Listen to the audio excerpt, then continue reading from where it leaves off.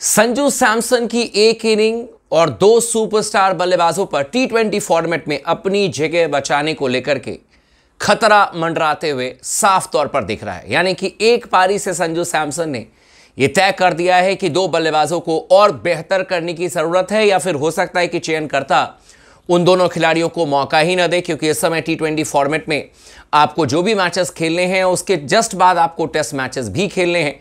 लेकिन इतना तय है कि भाई अब चयनकर्ताओं को यह तय करना पड़ेगा कि टी ट्वेंटी फॉर्मेट में ये मेरा विकेट कीपर है या बल्लेबाज है, सलामी बल्लेबाज है। टेस्ट मैचेस में ये खेलेगा एंड ओडीआई फॉर्मेट में ये खेलेगा। मतलब अब आप वैसे हालात नहीं देखोगे जहाँ पर कि टेस्ट मैच हो टी ट्वेंटी हो या ओडीआई मैचेस हो। हर जगह आपको ऋषभ पंत दिखेंगे, हर जगह आपको शुभमन गिल दिखेंगे। ये शायद अब नहीं होगा जिस तरीके से संजू सैमसन ने 40 गेंदों पर शतक ठोका है। देखिए, ऋषभ पंत बहुत बड़े विकेट कीपर हैं। टेस्ट मैचेस में उम्दा प्रदर्शन, उनके आसपास कोई नहीं है, इसमें कोई डाउट नहीं है। इसके अलावा आपके शुभमन गिल ने ओडीआई फॉर्मेट में बहुत अच्छी क्रिकेट खेली है, इसमें कोई शक नहीं है। लेकिन at the same time T twenty format में ऋषभ पंत के परफॉर्मेंस को लेकर के कई बार चर्चाएँ हुई हैं।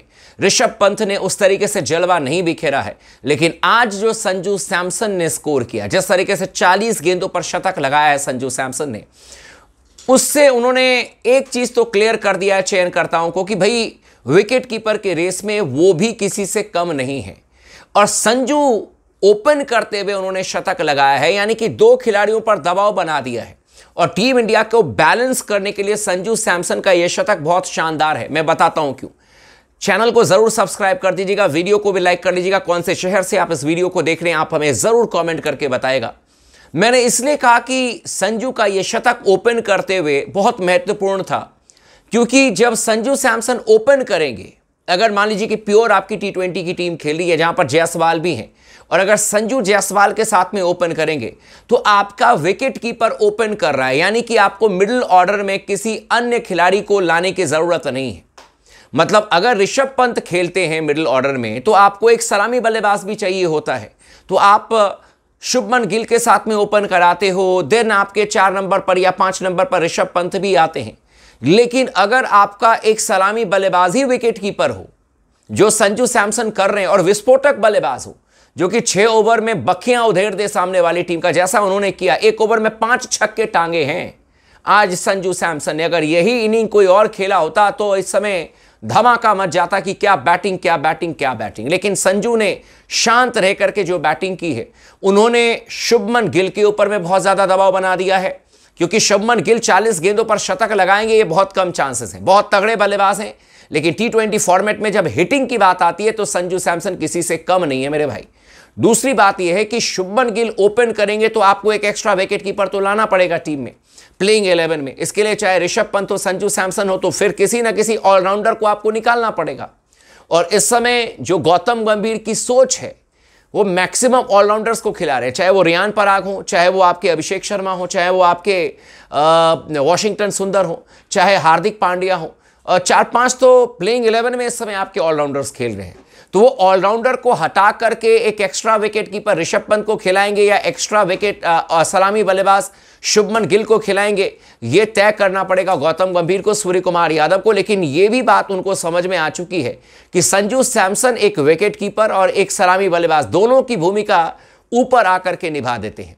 सलामी बल्लेबाज की भूमिका में जो काम आपके लिए शुभमन गिल करते हैं, वो काम आपके लिए संजू सैमसन कर देंगे। विकेट कीपर की भूमिका में जो काम आपके लिए ऋषभ पंत करते हैं, वो काम आपके संजू सैमसन बल्लेबाज के तौर पर, विकेट कीपर के तौर पर कर रहे हैं।